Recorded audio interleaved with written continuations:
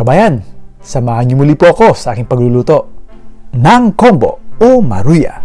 Ito po yung dinurog na saging na saba. Para po sa ating mga sangkap, 5 o 6 na piraso na hinog ng saging na saba, 1 teaspoon baking powder, 5 tablespoon ng asukal na pula, 1 cup all-purpose flour, 1 half teaspoon ng asin,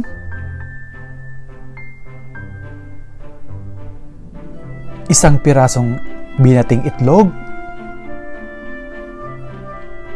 1 and a half tablespoon vanilla extract, 1 cup sariwang gatas o evaporada, 3-4 cup ng mantika, at sa ating optional na sangkap, margarine o butter, at puting asukal.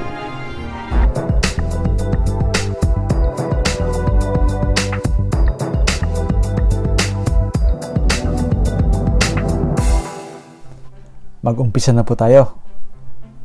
Maghugas muna tayo ng ating mga kamay.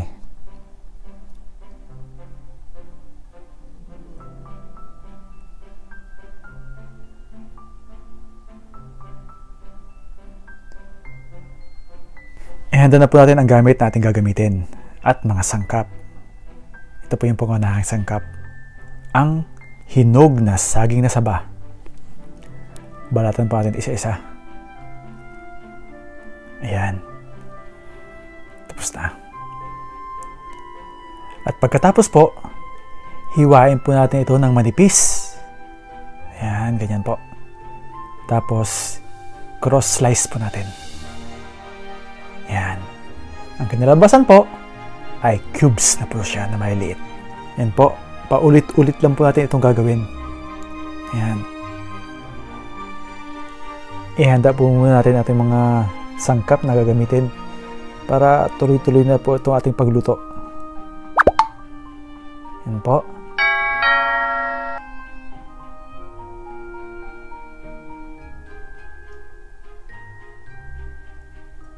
May.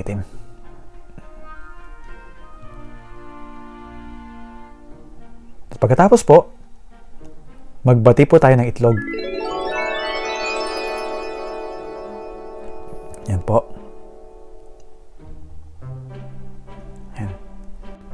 Pagkatapos po, kumuha po tayo ng malaking bowl at ito po ay isalin. Doon po natin lahat imimix lahat ng sangkap. Ayan. Na una, itlog po muna kabayan.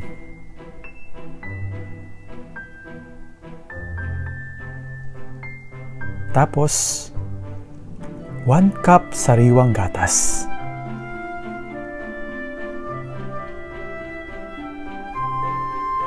Oops. Okay na. Takpan po muna natin. Ayan po. 1 cup sariwang gatas. Pwede rin po tayong gumamit ng evaporada. Tapos po, ihalo po natin siya dito sa itlog na binate. Yan. I-shake po mabuti. Tapos, 5 tablespoon na asukal na pula. 1 cup all-purpose flour o harina. Ayan. Ayan po. Haluin po natin siya mabuti. Hanggang po siya ay lumapot.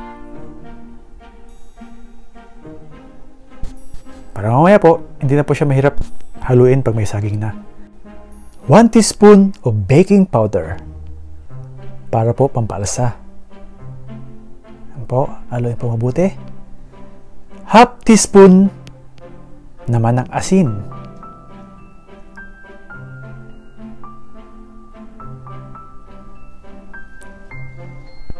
One and a half tablespoon of vanilla extract para naman po siya bumango. Pwede rin po siyang hindi lagyan. Yan lang po ay optional ingredients natin.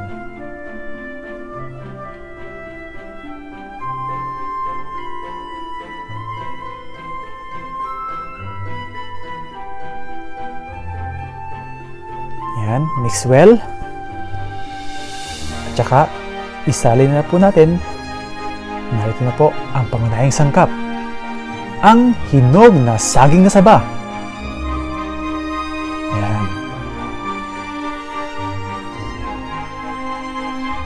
Haluin po ng haluin natin na mabuti para lahat ng ingredients ay mahalo.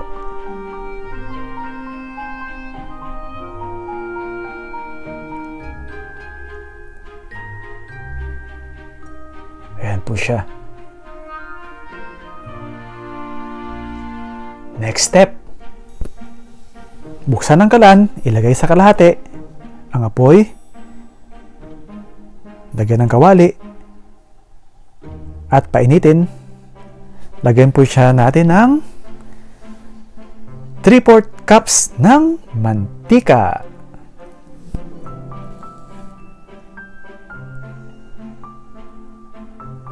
Kapag maiit na po ang kawali, ilagay na po ang mantika. Kapag maiit na po ang mantika, painitin na rin po natin ang ating molding tools. Molding tool lang pala. Isa lang eh. Ang purpose po nito ay uh, hindi dumikit ang ating sangkap. Kailangan natin pong painitin. Ayan, ilagay na po natin. Pwede rin po tayong hindi gumamit ng hulmahan na to, kumakalat nga lang po. Ayan. Pantayin na rin para maganda yung shape niya. Kapag hulmay-hulmahan po kasi, napakabilis gumawa.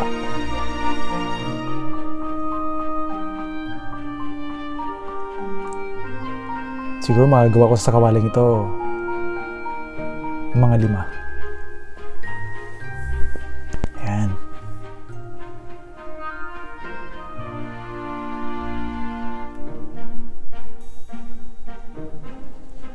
Tapos, balik rin natin po siya. Baka masunog.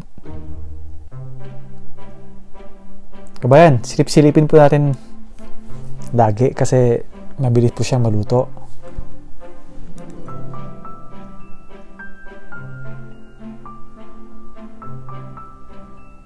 Yan, luto na po siya.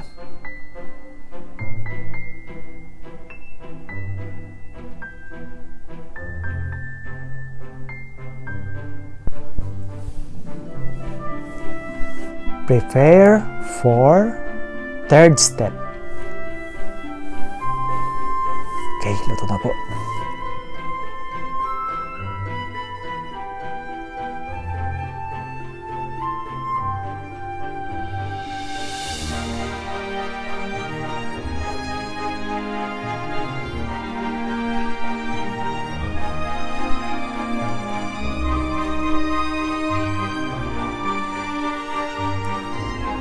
Yun, ang third step natin.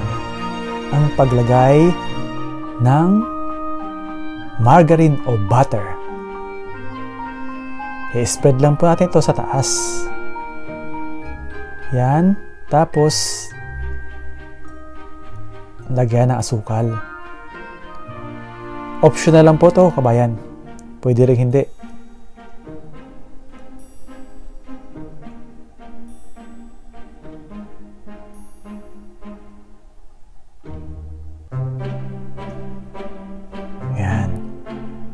Po siya. Finished product.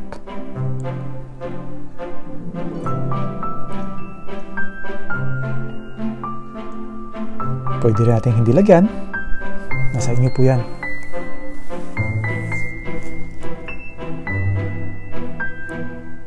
Nilagyan ko lang para lalong sumarap.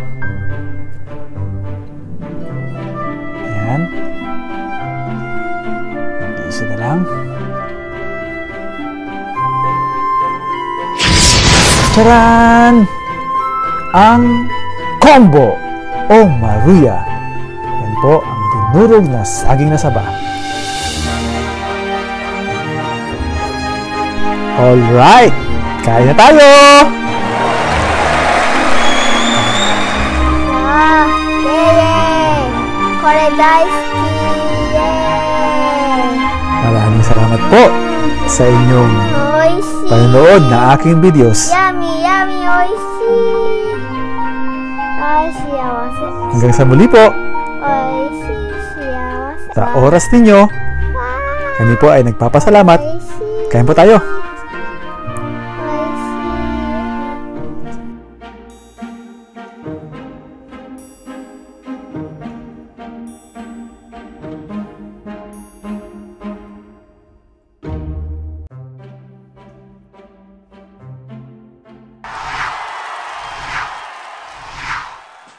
Thanks for watching.